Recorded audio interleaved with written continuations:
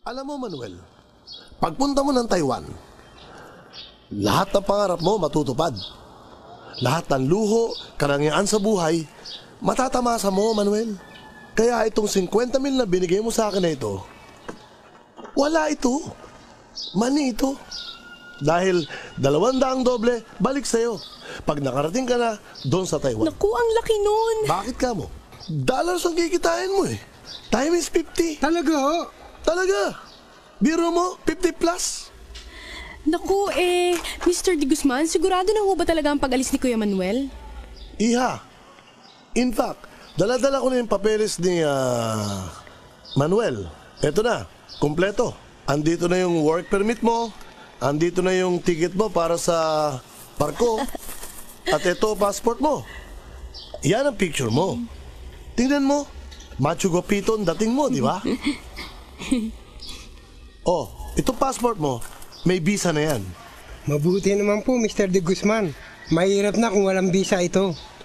De, visa, visa yan, hindi visa. Ito, calling card ko. Pagdating na pagdating mo sa Ayan. Maynila, tawagan mo agad ako. May papipirmahan lang ako sa iyo ng konti. In a couple of days, off you go to Taiwan. Parang nakikinikinita ko na. Pwede ka nang ihilera sa mga bagong bayani sa abroad. Hindi ka lang makakatulong sa pamilya mo, makakatulong ka pa sa ekonomiya ng ating bansa. Pwede ka nang tawaging bagong bayani.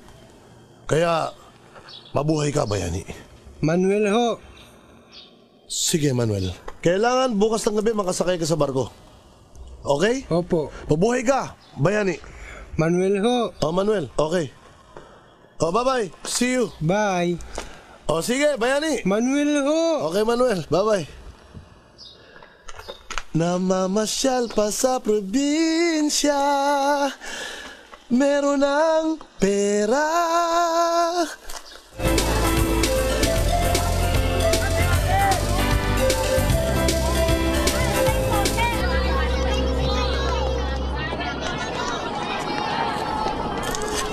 Ay, sorry po.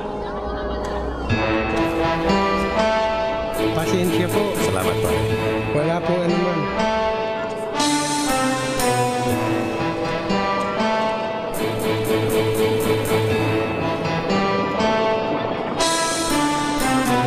Uy, ang daming pera ni Pogi. Hmm. Ikaw mukhang makapagod ka na. Uy! Uy, pinsan! Kakarating mo lang ba? Ako, pinsan mo? Oo nga naman, pinsan! Nakalimutan mo na ba ako? Teka, sino ka ba? Ako si Katja! Ah, teka. Ah, di ba ikaw si... Let me think, let me think. Ay, ah, sino ka na nga ba? Manuel. Yun! Manuel! Pambihira naman oh, Diyos ko. Manuel! Pinsan Manuel! Diyos ko, pampogi ka! Pinsan Manuel! Ako, Pogi. Poging pogi! Naku! Pinsan, kumain ka na ba? Hindi pa nga eh. Hindi pa? Ay naku, ako bahala sa'yo. Sagot kita. Halika. Upo ka, upo ka. Well, okay. Ito na pong order niyo. Okay. Thank you, thank you, thank you, thank you. O, ayan. Mm.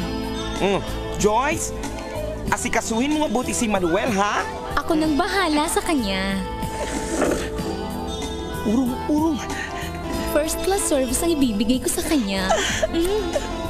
O, paano, Manuel? Maiwan muna kita, ha? Feel at home. Baka naman may gusto ka pa. Sabihin mo lang, pwede kitang i-order. Mura lang naman serbisyo dito eh. Teka, teka. Ibig mo sabihin babayaran kong lahat ito?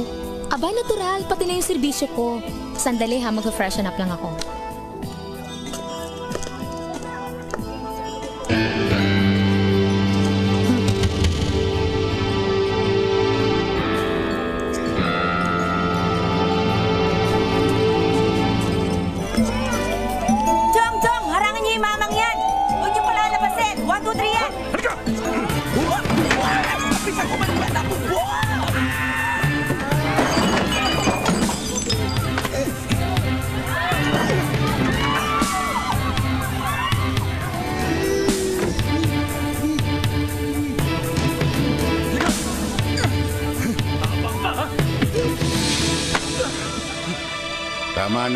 Kalaban-laban yung tao. eh.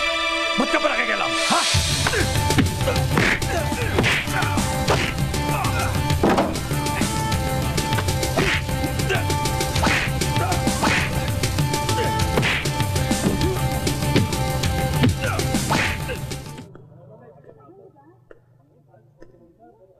Maraming salamat to. Bagong salta ka, ano? Oo. Bagong salta ka, pumasok ka dyan. O saan ang tungo mo niyan? Eh, sa Manila po sana, kaya lang eh. Kaya lang ano, Nadukutan po ako eh. Kaya hindi ko alam kung paano ako makakarating sa Manila. saan ang tuloy mo niyan sa Manila?